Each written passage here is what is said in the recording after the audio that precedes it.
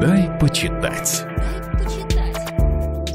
Здравствуйте, я Ксения Станиславовна Лисарева, профессор Вятского государственного университета. Обожаю английский классический детектив. Помните, дорогие слушатели, те замечательные правила приема в английский детективный клуб? Председатель Честертон, секретарь Дороти Лисейерс. Джулия Ли не была членом английского детективного клуба, но она стала тем, кем хотела стать писателем детективных историй историй для подростков. Она придумала привлекательный образ юной сыщицы Нэнси Паркер и сочинила целую серию «Нэнси Паркер и сиделка на миллион долларов», «Нэнси Паркер и ферма призраков» и, наконец-то, по-агатовски точно «Нэнси Паркер и мертвец в библиотеке. В старое поместье приезжает мисс Лэмп, мечтающая стать женой доктора Макдональда и ее горничная Нэнси Паркер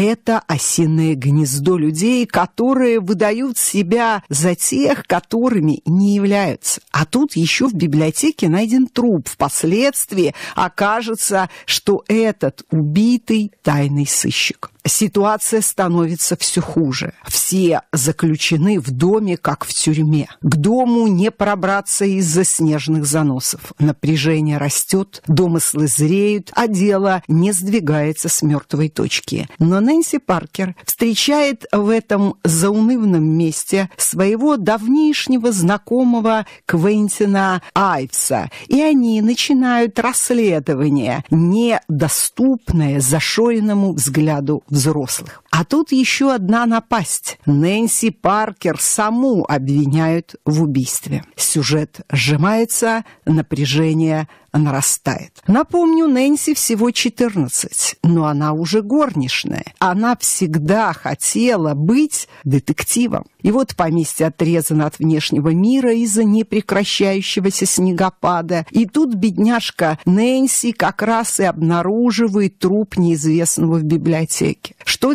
делать, если убийца рядом, а от тебя отворачиваются все? Книга получилась смешной, увлекательной, затянутой, с претензией на классический детектив. Третий в серии Джулии Ли про Нэнси Паркер 12+. Эту и многие другие книги вы сможете найти в магазинах «Читай город» по адресам Преображенская, 65, Ленина, 103А, Луганская, 53 и Волкова, 6А. До новых встреч! Дай почитать.